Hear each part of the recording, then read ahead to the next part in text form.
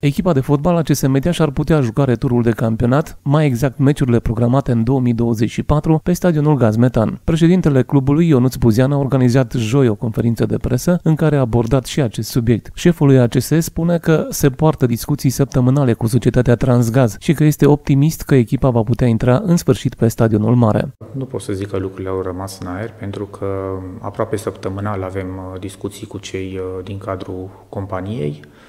Uh, verbal ni s-au transmis foarte multe lucruri care sperăm uh, să se întâmple în uh, perioada imediat următoare.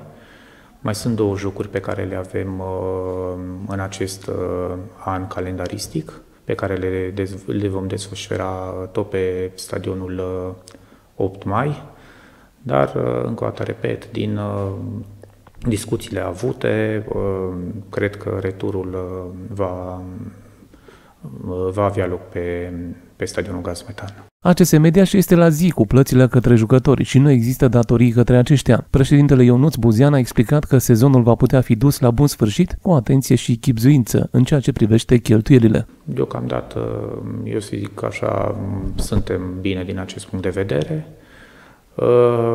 Echipa nu are nicio datorie către niciun jucător. Uh, sponsorizările pe care încă le avem din partea primăriei, uh, din partea uh, Romgaz, nu au întârziat să apară.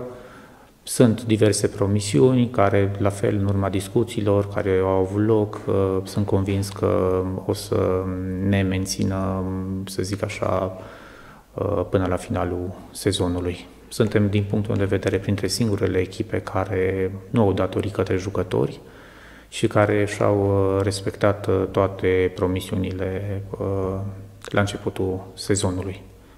Deci vă ajung banii pentru a continua și pentru a...